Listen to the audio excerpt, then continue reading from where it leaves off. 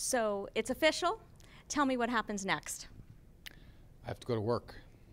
Um, I have uh, meetings this afternoon regarding a lot of the things that we've talked about, um, either with individual, you know, council members or uh, my staff, whom I've met with a few times already. But it's getting down to business and starting to work on the priorities that we've set, which uh, customer service being number one, working on the infrastructure number two, making sure we have the right processes and systems in place and the right people in place, and um, making sure our retail stores um, look like they ought to in the 21st century from a customer uh, service standpoint.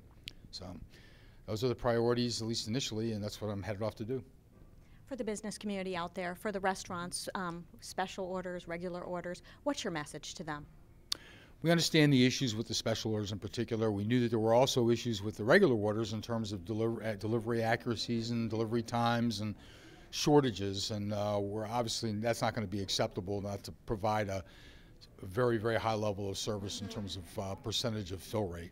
Uh, when it comes to special orders. Um, you know, we're going to continue to do everything we can to make sure that those are available, but we're going to work on a plan to make it, um, I think, more amenable or acceptable to um, not only the customer but uh, to, to, the county to be able to handle it correctly.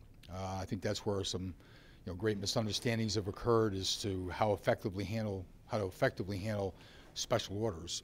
And because we've not probably communicated well about that um, and put a good plan in place, that's what we need to focus on is to do that. What's the biggest challenge you face as you head over to the office today? Um, I think con convincing the county residents that there's great value in what the county provides and that there's misconceptions about what options and alternatives there are that are available that people might think are clearly better. Um, I think Montgomery County has only but the best interests of its residents in mind, and it, has, that's the way it's acted. Uh, it's my 35 years in this county. I've always been proud of the fact that my son went to some of the best public schools in the country, that we had some of the best amenities that existed anywhere in this country uh, by living in Montgomery County. And I know that when it comes to its departments, it takes great pride in, in, providing the best service in each and every one of its departments. And I think that uh, I've been asked to come in and ensure that uh, the Department of Liquor Control is one of those departments that um, not only is the county proud of, but the residents are proud of and see the great values that can be provided. Uh, that's not always been the case, and it's clearly not uh, all, all the case today, but my job is to make sure that it is.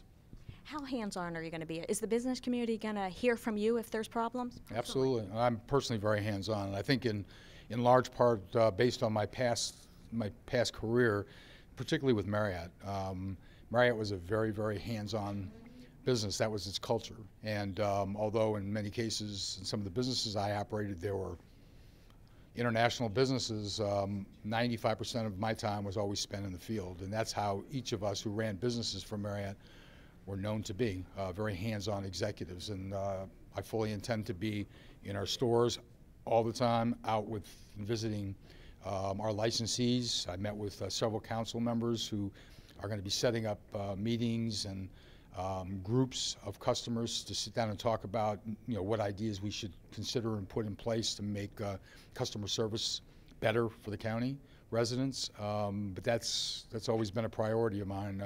I was on the customer service side, and um, I'm always been very, very hands-on in terms of being in my business.